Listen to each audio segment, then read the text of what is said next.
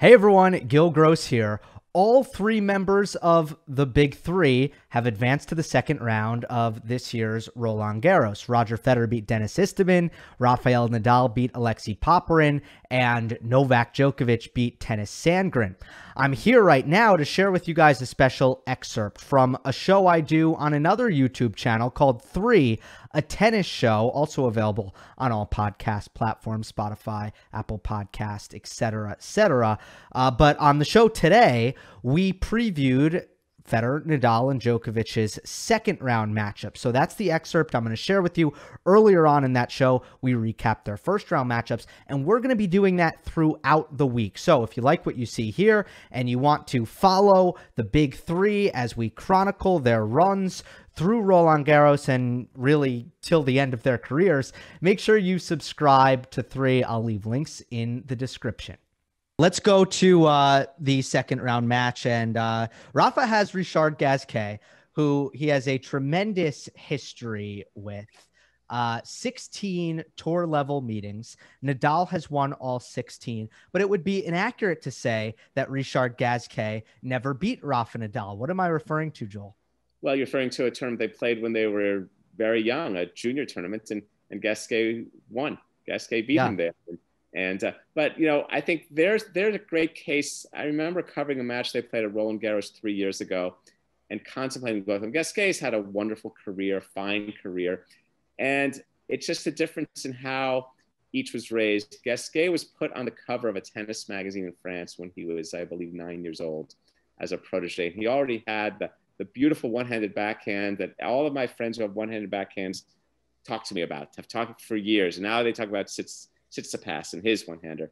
And um, Gasquet, though, that almost may have set him back because he was so told what a great player he could be. I think if Tony Nadal had gotten word that Rafa could have been on a cover of a magazine, he would have banned that from happening. He would have said, There's no way you're going to be on the cover of a magazine. In fact, with that alone, you know what you should do? You should hand deliver magazines to everyone in the town. And I think there's just this whole approach to tennis. Gasquet's parents were pros, and, and I think Gasquet, by now having played Federer 16 times, I hope on the 17th, maybe he'll serve and volley 10 times. I mean, if you lose to someone that many times in a row who's that good on that surface, maybe try something different, or you just kind of, okay, go about losing three, four, and two, and maybe you take a set further. I don't know what what what, what coach the Gasquet. Uh, I, Gasquet definitely knows where the ball is coming to the backhand, to the backhand, to the backhand. That's how Rafa plays one-handed backhand. So, yeah, um, moonball. You know, um, uh, you can't really drop shot Rafa. I mean, what can you do to Rafa on clay? I know. I'll tell you something, but here's the thing. Here's how I look at the game. Here's how I look at the game. You're right. Okay. What can you do with Nadal versus on clay? But you go play someone who you're significantly overmatched with, who you've lost 16 times, yeah, I can hit my shots. I can feel good. I'll be in a number of rallies, and maybe yes, Gay. Look, he's a pro. He might extend him to an overtime set. He might even grab a set. But do I want to how to compete against him effectively? So now what I should do is empty the kitchen sink. Why not hit some kickers and try some serve and volley? Now, granted, you're at the limits of your skills development, and this gets to the big thing about how players build their game. And this is why I so like players like Federer and why I like on the women's side, I like Caty McNally, people who are building the broadest possible arsenal.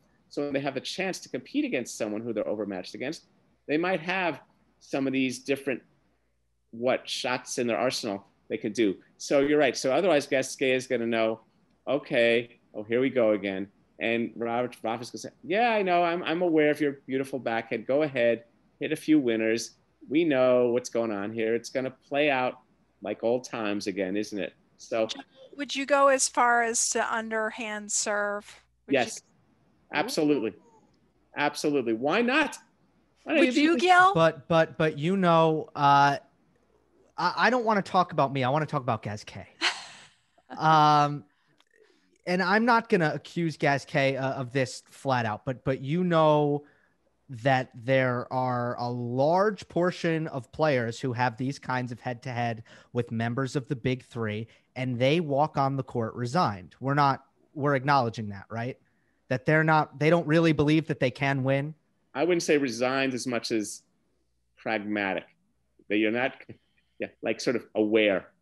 They're, they're, they're quite aware of that such history. That's true. I think yeah. I think some of them go out there and think, boy, it would be really good if I could get a set or what can I do not to embarrass myself? Uh, unfortunately, yep. I think a lot of them have that in the back of their head. Well, Gasquet has had, yeah, it's kind of interesting. It's almost like we get Elisabeth Kübler-Ross, the, the five stages of, of tennis life and death of that you go through, whether it's whether it's optimism, optimism, acceptance, denial. we come up with, we, I should come up with a chart, but like Gasquet knows he's not going to embarrass himself. In fact, innovation, that's why he doesn't want to innovate because that makes him think he's going to embarrass himself.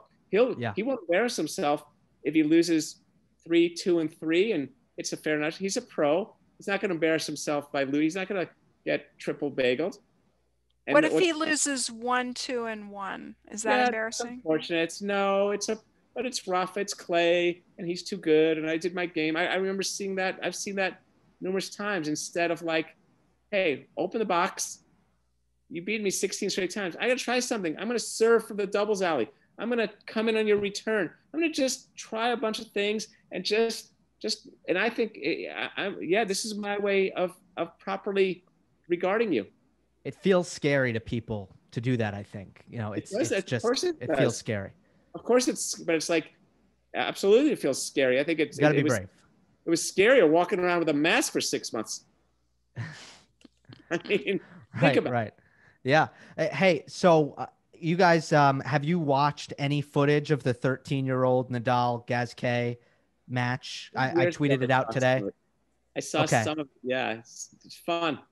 Well, I will. I will say this: the my biggest takeaway. Gasquet's game is beautiful, even at 13 years old. But my biggest takeaway was how far behind Nadal's serve was from the rest of his game. I'm stunned. I mean, his serve was really bad technically as a 13 year old. The rest of his game pretty pretty beautiful, pretty great. But clearly, like the serve just wasn't valued. It was just okay. Start the point. He didn't use his legs. He was kind of uh, going backwards uh, right. away from the court instead of into the court. I mean, it was a real mess. And to a lesser extent, that's kind of how he entered the tour as a as a teenager as well, with the serve way behind the rest of his game. So you know, you got the uh, you got the Chris Lewitt uh, Spanish background. I'm going to keep hammering on you this for the next 20 years. What's the approach to the serve in that world?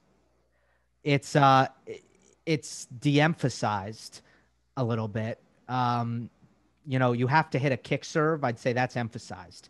Second serve, accelerate, hit it as hard as you can. Kick serve, need it. Righty backhand, but the the development of the serve is kind of the win the point outright weapon, not really a thing. It's more how of a protect yourself. How about the development of the serve as a gain a little traction to start the point? You know, I mean, instead of how instead of if yeah. you look at the serve as first down, instead of the serve getting you to second and eight, how about the serve getting you to second and five? Well, I think with the development of the forehand as a as the, your primary weapon, I think the serve comes into play there. Uh, ideally. I just no, think again, it's serve plus one. I'm not talking about the serve plus one. I'm talking about the serve itself. I guess the clay is such a such a neutralizer that it's kind of like, yeah. why am I even doing this? So that's kind of interesting. And the young Rafa had that, but he's, you know, now it, it's very much for him. And we'll be talking about this more in the shows to come. The serve plus one the combo. And I think it's changing, by the way. And I, I am not on the grounds in Spain, but I do think that they're starting to uh, modernize and start to look at the serve differently and emphasize it more. Um, all right, Federer versus Cilic, Amy. Yeah, these guys have some history, right? Yeah, a lot of um, it. I mean, I, I Cilic has been a big server. I'm not sure what he's doing right now. Um, but again, we've talked in the show about how that's not really a factor. And um, Cilic certainly isn't the player that he has been when these two players have met in the past. I always think of the Wimbledon final in 2017 where Roger crushed him and it was heartbreaking. But this is interesting because they're both a little bit not who they have been. Well, right. And Cilic, though, I'm a little I, have always liked Cilic. I've liked his work ethic. I've liked his game. I've liked his back end. He's he's a lot. He's a, he's one of the players I find he's um a little. He's a lot more fun to watch play in person than he is on television. Something I, I find him more.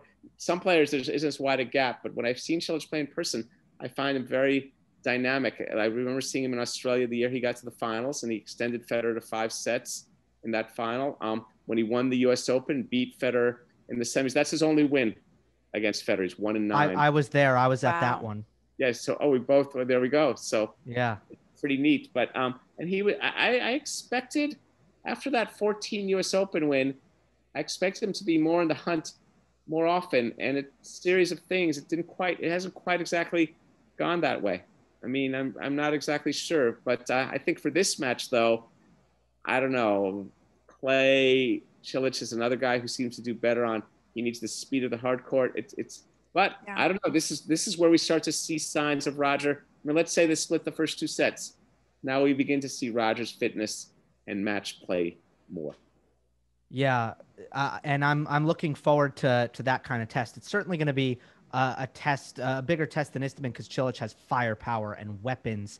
Uh, it's just there's been a lot of errors recently, and Cilic has struggled to win matches even when he's put himself in winning positions uh, because he's really, really struggled over the last two, three years. Ever since really Wimbledon 2018, he was a three seed and he lost to Guido Pella in one in the early rounds, and he was supposed to do damage in that tournament coming off the final. And that was, for some reason, a turning point in his career. He never had great results after mm. that. Hmm. It's the nerve management that I think have, has gone out the window for Cilic. And in, in big spots, he's missing and he just seems nervous. Uh, towards the end of his career, in the beginning of in the beginning and the middle of his career, he was handling those moments, and that's what has really left him. Well, you know, it's interesting. It made me think as you said that about sort of this. You know, we're looking at the three, and we talk about these contenders, but there are these these generations of people who've like, you know, tilted against the greats, and then they haven't, and then they, you know, whether it's Tsonga or Berdych, and and Ferrer at least kind of brought it all in because he because of his playing style. But the ones with the with the bigger weapon games, they kind of huffed and they puffed, and they couldn't blow the big three down, and then they just kind of like, Ugh. and maybe that's for you sort of, of resignation because at, at least Ferrer had his eternal hustle that never let him down. So that was he just kept on grinding, and even he, and even he, that reached the stage where even he found his empty mark. But it's just it's just interesting. You could almost do you could almost chronicle these these multiple generations, and it's like nothing in tennis history because these guys have lasted at the top so long. I've heard Chrissy and Martina talk about how they got more nervous towards the end of their careers. Um, because they they kind of would think in the back of their mind, oh, how many more chances will I have? And I say this kind of not to to make a point about Cilic, but to also appreciate what our three have done thus far. Where maybe maybe Federer's had some some moments here and there where the the nerves have have gotten to him in a way that's been detrimental. But for the most part, these guys have have maintained their steely nerve management in big matches and their record in major finals is what you would point to to to kind of prove that. Well, Federer was asked after the Istomin match, what's more important, confidence or experience? And he said, for sure, confidence.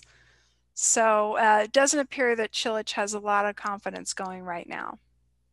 I would say that, but I would also say, you know, Roger Federer, that guy, he's kind of amazing. And yet it's like, yeah, it, that would be one of those things, hearing that is, yeah, he said that, what's that mean? Well, where do you get confidence? Well, experience helps. I mean, I mean, it's like it's sort of like the way it's sort of like the way I was telling a coach once.